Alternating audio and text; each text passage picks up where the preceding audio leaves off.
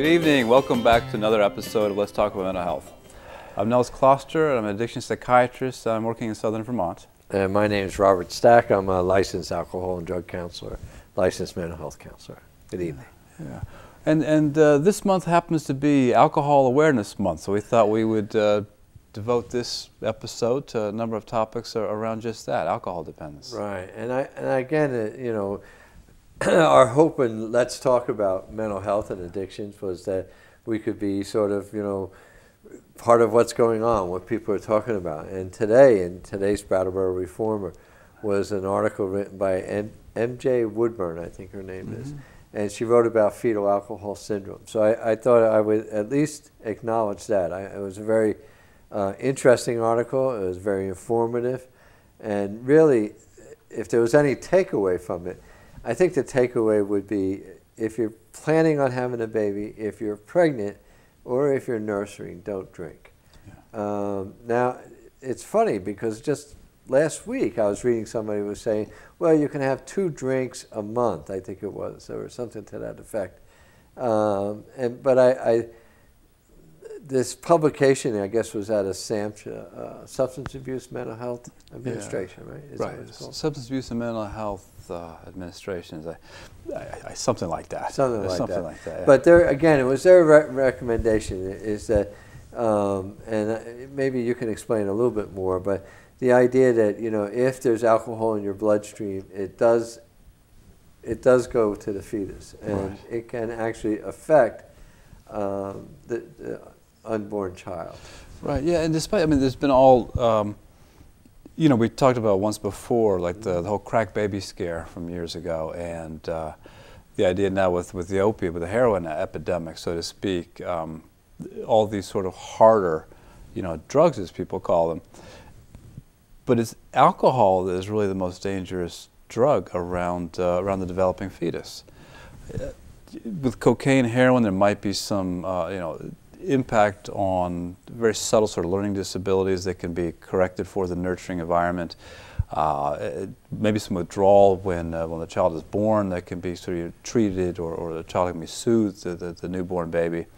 But alcohol actually leads to birth defects. And uh, so that's, uh, there's no idea about what is sort of the, um, the dose or the level of alcohol that would cause any of these problems. So that's why you, I think a lot of people take this sort of you know, a little overprotective, you know, over the top, if you will. The idea that there's no safe amount of, of alcohol. And that's based on the idea that we don't know how much alcohol can cause various, uh, you know, birth defects or, or the facial abnormalities or the intellectual uh, difficulties. So the position is, well, if we don't know, let's say that, that no alcohol whatsoever could be considered safe when you're, when you're pregnant.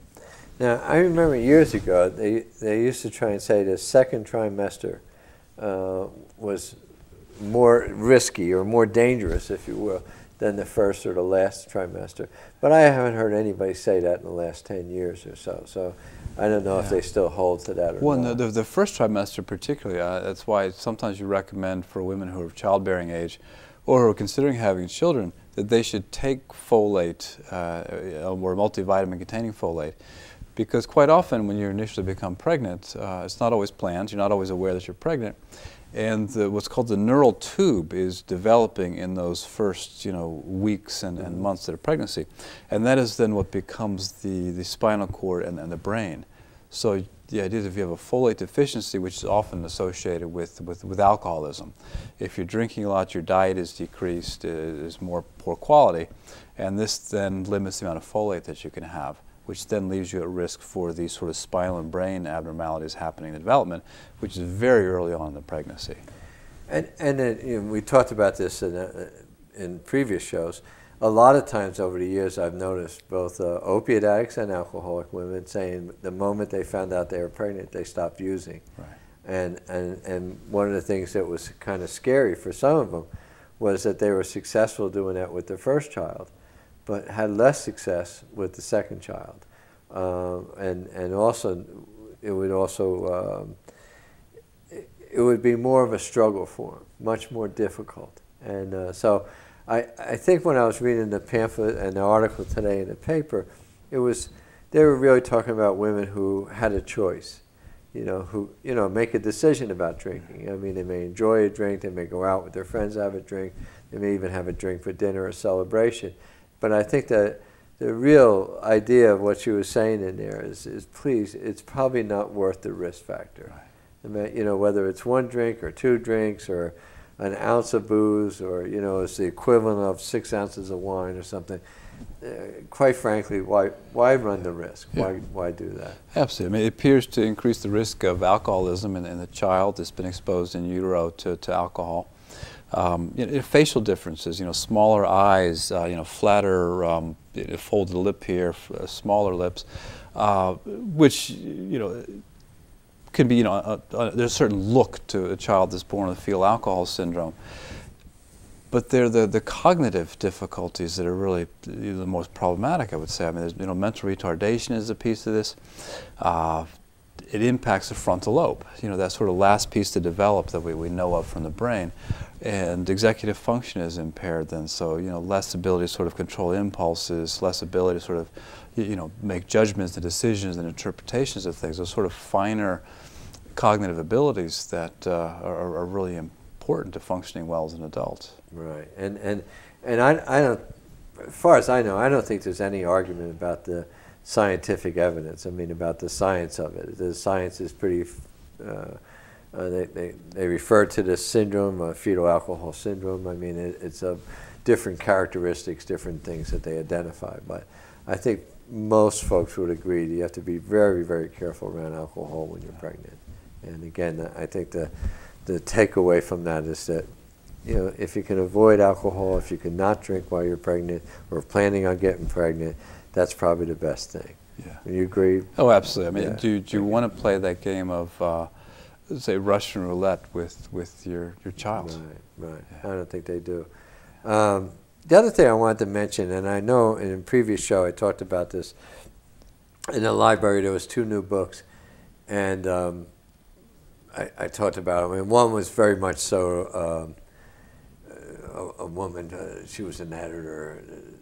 Think she worked as a professor in Montreal, and then she was an editor in a magazine. And, and she actually got sober and talked about her success in 12-step programs. But there was another book, and she sort of uh, also struggled with alcohol, um, but she felt that AA was not appropriate for her or, or for women in general and thought it was AA was a sort of hostile environment to it. And so I think both those books, I mean, you can read them and, and, and find something to. But it made me think about, you know, many, oh, 20 some years ago, uh, I remember when we first started treating more and more women for alcoholism. And at the same time, we had uh, women's uh, liberation movements. And one of the things that they talked about for some of the women was this sense of empowerment, that, that you had to give them a sense of empowerment um, and yet AA, in their first step, talk about people being powerless. And so there was a movement for a little while there, and I imagine it's still out there, to sort of avoid recommending the first step to women, especially women who have been victims, who have struggled with this concept of powerlessness. And that, that was a very dangerous concept. And uh, all, all I can say is that, you know, from, from what I know, is that many women are in AA and are very successful. And uh, it used to be that there were a little bit, you know, maybe 20%. And, and uh, if the indication of how many men and women on the unit, when I used to work 30 years ago, there'd maybe be three women and 17 men. Uh, but the last couple of years that I was working, uh, I would say women were at least 50% maybe 40%. I Right. mean, And we, uh, we see this a lot of, uh, um, you would say public health statistics too, that uh, as uh, women have gained equality, they've also not been stigmatized about smoking or about drinking, and they're allowed to sort of, en- say allowed, it's acceptable that they engage in the same sort of behaviors that men have been engaging in for a long time. And with cigarette smoking, which you could see was that, you know, 30 years after women began smoking, then they began to have similar rates of cancers, emphysema, that men had had. And I think now with women as well, right? We're seeing that uh, these sorts of illnesses, like, like fatty liver, cirrhosis, hepatitis, that were associated with male drinkers, we're now seeing those in women as well at, at, at comparable rates. But one of the sort of uh, unfairnesses of, of nature is that women are more susceptible, right? So drinking uh, lower amounts and drinking for a shorter period of time, they're still prone for the same level of illness that men who are drinking more and longer will have, such as the types of dementias that happen or liver diseases that happen or other cardiovascular effects. Um, so another reason is sort of be more more careful about this with uh, with women. Right, and and uh, and the thing with the powerlessness is that for from the concept of alcoholics in recovery and trying to counsel them with this idea is that it has to be absolute. You can't drink, and so powerless is a sort of pretty straightforward word. I mean, it means you have no power over it. And, and you know, many alcoholics, believe me, want to argue that. I mean, uh, they feel that most of the time they have control over it. They, you know, they limit themselves. They don't get in trouble. But, uh, and the trouble that they do have is fairly periodic. You know, it happens off and on. So, uh, but the thing that you'll see with alcoholics is that they find that they can't leave it alone. They can't limit how much they take. They can't always predict how it's going to turn out. Uh, and it does cause some problems in their life. And so I think at some level, at the same time that women want to take their rightful place among men, I think uh, they want to say that they have as much right. I guess they have as much right to be an alcoholic, but I wouldn't recommend it. I mean, I, you know what I mean? I don't mean that like, yeah. no, that sounds like a smart. Well, we're, so we're starting to sexist here, right? Yeah, because but I don't mean really that. I'm just saying that, you know, I, I want to appreciate empowerment, but on the same level, I mean, one of the things that happens when you admit powerlessness is, is that you sort of acknowledge that you can't drink. I mean, it, it's really, uh, and most alcoholics, for you know the ones who continue to drink for the rest of their lives, uh, will constantly be negotiating. You know, well, I'll drink beer and not whiskey. I'll drink in the morning, but not in the afternoon. I mean, you know, it's this constant sort of um, you know, mention, I mentioned, you know, uh, people who control, who like have limit their drinks two a day or only one after work or whatever rules they set up. And then the rest of their life, they're trying to follow these arbitrary rules. And I'm, I'm sorry to say that most alcoholics, as their behaviors get worse, their rules change. Yeah. Uh, but then, too, the person who's able to have one drink every day with, with dinner or whatever when they come to work, we hardly suggest they're an alcoholic. Right. They're, they're not out of control. They seem to have a power over yeah. that. And, and, and two, we've had a number of, we've had guests this season, and, and we've talked about this too, that the idea of you have a responsibility, responsibility around your mental health. You have, you have responsibilities, you have choices to make around your addictions. And so it would seem to say that, okay, I'm powerless against alcohol or I'm powerless against drugs is a real contradiction to us saying that. But I think, uh, you know, when I think about that, I, I, never really took the idea of being powerless over alcohol, that first, you know, the first step in AA, to really mean that you were helpless.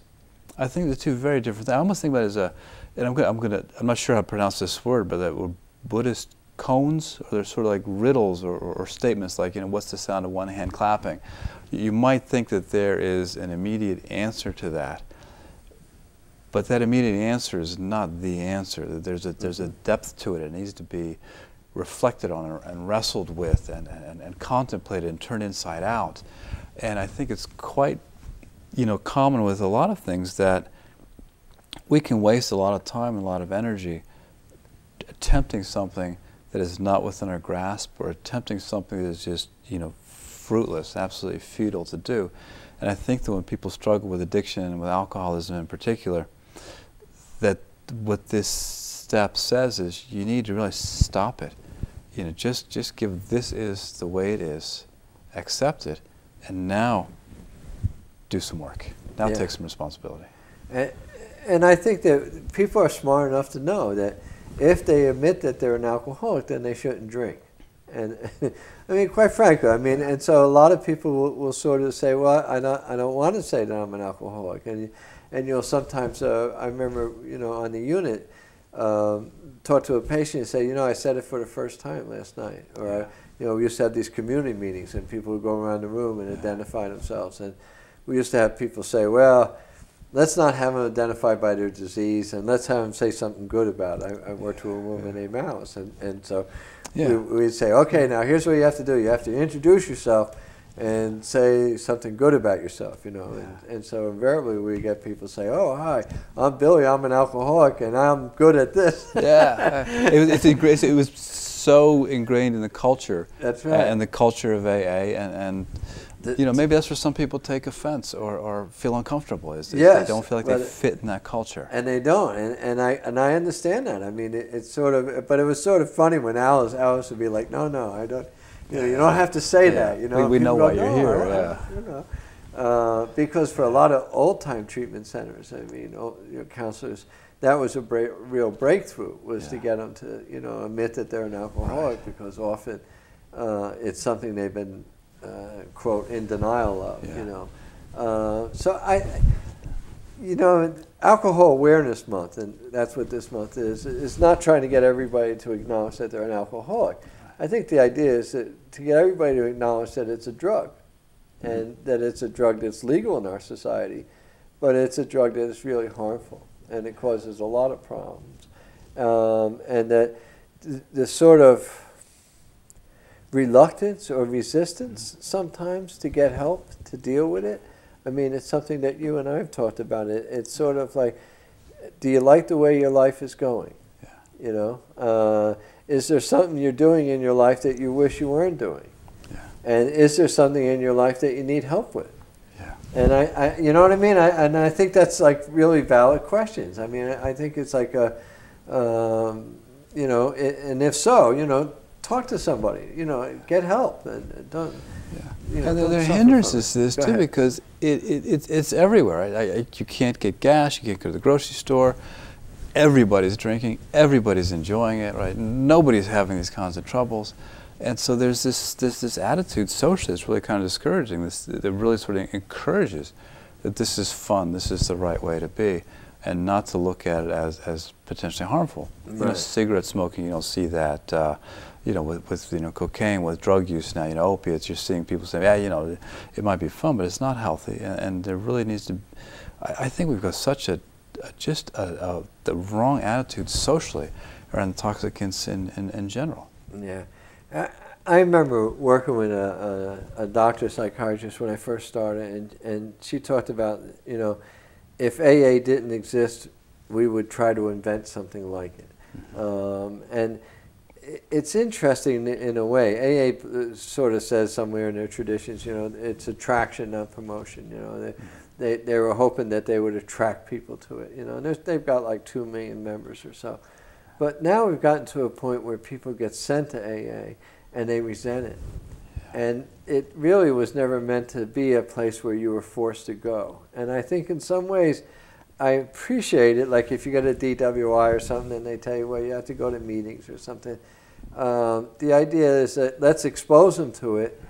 Uh, some people will get sober. Uh, so at least they'll know where it is and they'll know what it's about. A- And I guess it does work for some. But boy, I tell you, it's really. I think it's I think it's lost some of its sense of uh, when people are made to go, when they're forced to go. I think on some level, I mean, it, it's sort of you you go there, and they have this uh, wonderful thing in AA. They used to say, um, if you identify with somebody, you know, you identify with them, um, and you're looking for how you're the same. If you compare yourself with somebody, you're looking for how you're different. And I think what happens with people who are forced to go to meetings, they spend the whole meeting looking around comparing themselves. Well, I haven't done that. Well, I haven't done this. Or I'm not that bad. And they come out of the meetings feeling like, well, I don't belong here. And it's not uncommon. When I worked in a hospital, I would talk to somebody and they're on their second or third or fourth hospitalization for alcoholism. And I'd mention AA and they go, no, I tried that. I, I went there once and it didn't work. And I think they probably went at the wrong time. Yeah. You know what I mean? It, it's Yeah, sort of yeah. like they went, they went, and, and instead of hearing uh, recovery, instead of listening for how they might be the same as the other people in the room, they actually went in the room and figured out why they're not the same as the Mhm, people in the mhm. room and decided that AA was not for them. Yeah, yeah.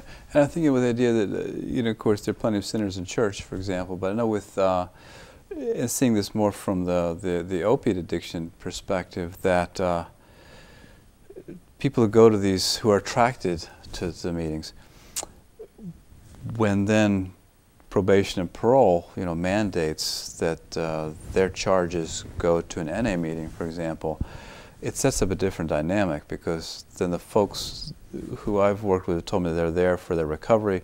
They, they want the fellowship, they want the support.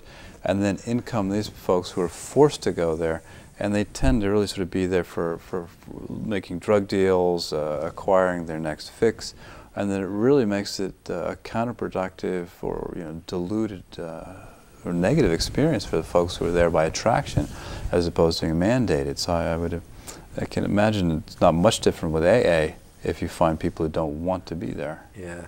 And the problem with, in some ways, is it's it's sort of like that. What's newsworthy?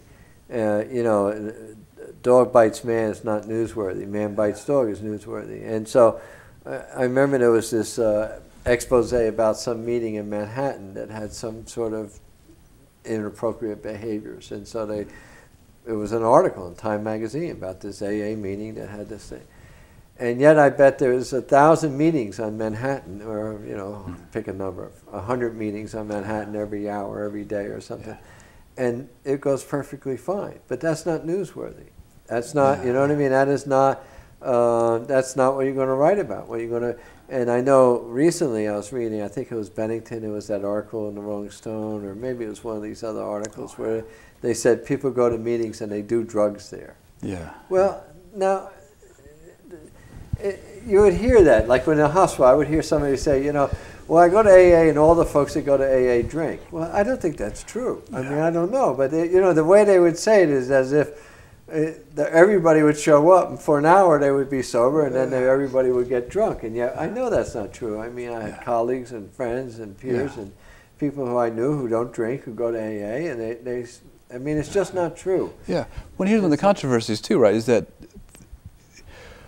especially hear this too with uh, that all these these bad news stories, like you know Rolling Stones, New York Times, that uh, they're picking out the few people who misuse or who do not do well, and they're completely ignoring how many people are, are, are helped or even saved by by this program, and but given the uh, the whole sort of the basis for AA and the idea of anonymity it's it's really discouraged people from coming forward and say, hey, you know what?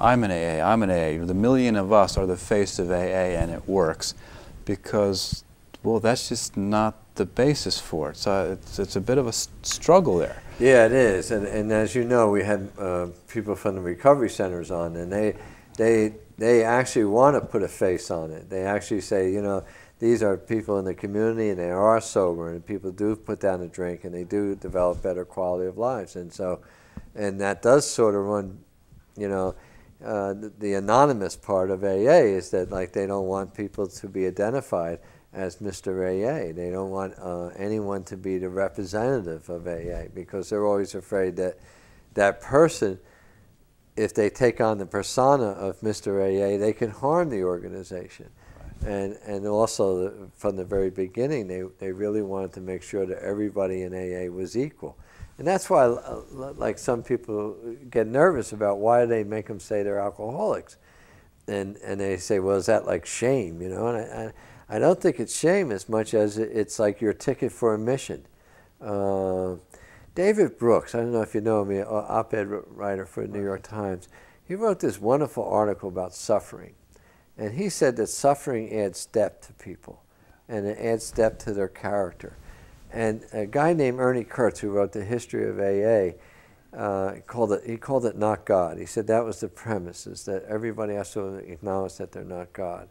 Um, he said the common bond in AA is suffering. And I think that that was the idea behind the hi, I'm Bill and I'm Joe and I'm Mary, was that it, it isn't your stature in life, it wasn't your education, it wasn't what neighborhood you lived in, what ethnic group you belonged to. It was this idea that you were, like everyone else, you had suffered. And so you would say your first name, and then you would say, and I'm an alcoholic. And that meant that you had the ticket for admission. You know what I mean? It's sort of, so I think, you know, one of the dangers sometimes in, in uh, talking about history is that you use what you know today to judge what people did back then. And I think, you know, uh, now we talk about shame-based and empowerment and disempowerment. But, you know, when AA started, what they were looking for was to sort of find a place where everybody was equal. Everybody admitted that they were defeated by booze and that they needed each other to get better. They needed spirituality. They needed help. And, and, and I think, you know, I think on some level, and I don't, AA doesn't need me to defend it, I mean, by any means, but I, I, I think in some level that it's a, um, it, it, it, has, it has the both of both worlds. It has very good endorsement by people who work in the field who have no hesitation at all of telling people to go to AA. Uh, but it also has uh, uh, people who know of individual things that are not good about it, and it frightens people away from AA. So I, I, guess it's a little bit of both. Yeah, but that's the piece that I mean. Research shows that the the fact that getting together with with the, with people, a community or a fellowship, if you will, of people who encourage being sober, that that's a departure for people who are, are alcoholic. And I mean, with the suffering, we know this from know, boot camp, medical school, you know, war experiences. When you go through an incredibly difficult experience together, and you share a bond that people outside that group don't share, that that's that, that's quite a cohesive uh, piece of this. That, that that draws you together, and you feel that identity with each other. So I'm sure that's a very strong, you know, piece of this as well, because we see it in so many other areas as also. Right. And, and to go back to what we said at the beginning, and my, my hope anyway is that alcohol awareness makes people aware that alcohol is a drug and that it's a dangerous drug. And uh, ask any police department, uh, you know, go ask any emergency room nurse, uh, ask them what's the number one drug that they see as a problem. And, you know, we talk about opiates and cocaine and everything, yeah. but alcohol is the one that consistently shows up uh, you know, when people dying from it, emergency rooms, uh, DWIs, fatal accidents, domestic violence, uh, fights, assault, all of them have alcohol. I mean, I don't know the percentage, but it's fairly high. Uh, alcohol is there. So, I mean, we have this dilemma in our society where it's a legal drug. Uh, it's part of our culture. It's in our religious services. Um, you know, I mean, it's it and and it, it's advertised relentlessly on TV. Um, the the good times that you can have on booze, it's part of your college experience. It's all that stuff. But people should never forget that ultimately it's a drug, and it's a drug that can cause an awful lot of harm. I mean, very, very destructive. And if you're in trouble with booze, you know, try and stop. The, the trick is that people could stop early enough without going to AA, without going to treatment, without going to detox. But it's still, they're still having fun with it. You know what I mean? It's like a, if you could only stop when you're still able to stop, this would be less of a problem. Uh, but it doesn't work that way. Yeah, and I mean, we too see the statistics, it's like emergency room visits and, and harms really kind of going back and forth. And I think that when you look at the other drugs, whether it's the opiates, it's marijuana, it's alcohol, they do share this commonality of, of being unhealthy, causing a great sort of morbidity and mortality, which means sort of you know poor quality of life and, and death. And uh, it's uh, the commonness of alcohol, the ever-present nature of it, does not take away the danger of it. Yeah. Uh, so we're coming to a close. It's another half hour has gone by. They go by quick. Yeah. Uh, we're actually coming to the end of this year of, of our shows. We have a, right. about a month more to go. Right, to about May 19th will be the last May one. 19th. May 19th. And uh, so if you have any comments or suggestions or questions, uh, please send it in to us. Yeah. We'd love to hear from you. Yeah, thank you. Thank you. That's my camera. This one's his. And this is our, our